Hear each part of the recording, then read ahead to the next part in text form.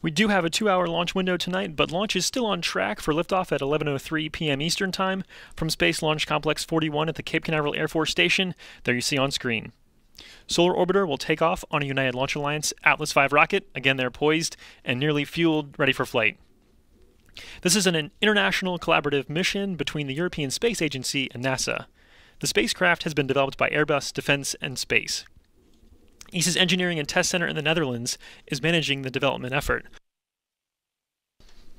And the European Space Operations Center in Germany will operate Solar Orbiter after launch.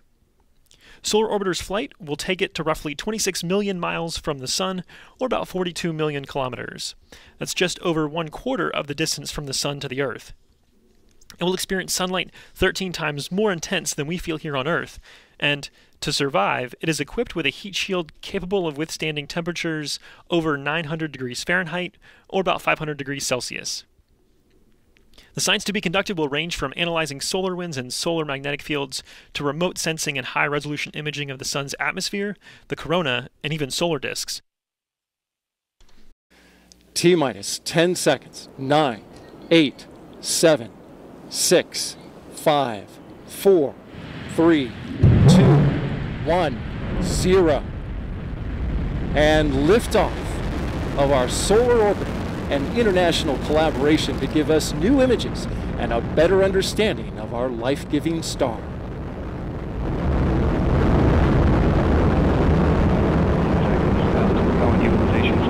And now you hear the voice of Patrick Moore, ULA's launch commentator.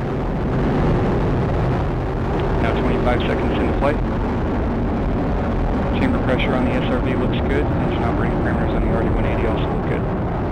Good report so far. Atlas V And at beginning the 35 seconds over. in, vehicle is completing the pitch over maneuver. Now 41 seconds into flight. 45 seconds into flight, everything is looking good. We heard that the RD-180 engine was operational. RD-180 nominal. throttling down slightly as expected, and engine response looks good. I'm going to pull those engines down for just a little bit as we now anticipate max Atlas Q. V is now supersonic.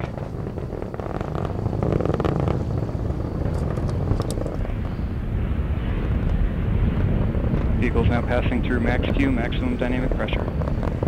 At maximum dynamic pressure is the period of maximum mechanical stress on the rocket because it's reached its highest velocity and resistance created by the Earth's atmosphere. Back up to full thrust as expected.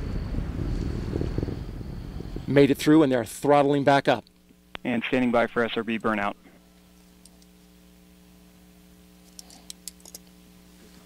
And we have burnout on the solid rocket booster.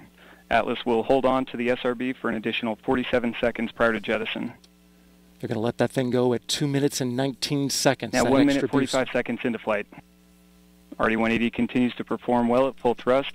Pump speeds and injector pressures look good. All right, stand by now for booster jettison. And now coming up on 2 minutes into flight, the Atlas V vehicle now weighs just one half of its liftoff weight. RD-180 RD-80 throttling down slightly as expected. 180 Engine continues to response continues to look good.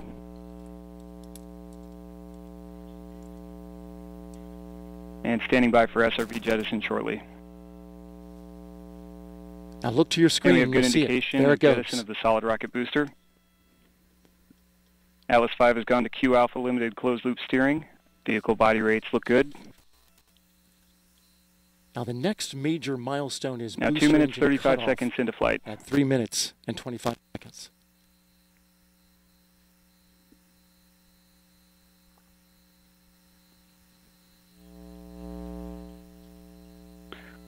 And the second stage RCS system press valve is opened. System now pressurizing to flight levels. Flying at over 5,000 miles per hour. Now 3 minutes into flight, approximately 1 minute remaining until BECO. And he's talking about main engine cutoff. One minute. RD-180 Until continues MECO. to look good. At uh, pump speeds and injector pressures look good. 3 minutes 15 seconds in. Right. About to cut that booster. Vehicle body rates look stable. seconds.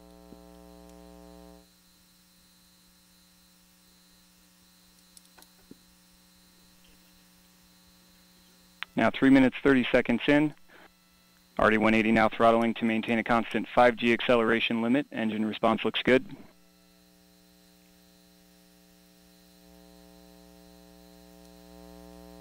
And we've begun boost phase chill down.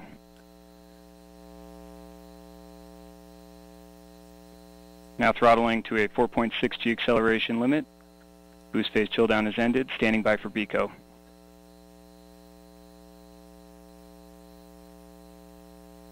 And we have BECO booster engine cutoff, standing by for stage Atlas. Centaur separation.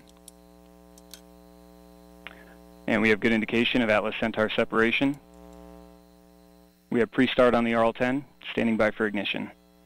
Next major milestone is the payload fairing. When that comes off, We have ignition and full thrust on the the RL-10. Chamber pressure looks good. Body rates look good. that payload And fairing we have good jettison indication of payload fairing Coming. jettison. right now. This first burn of today's mission will last approximately eight minutes.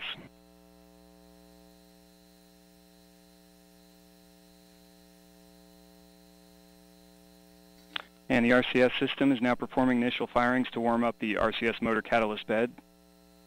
System response looks good.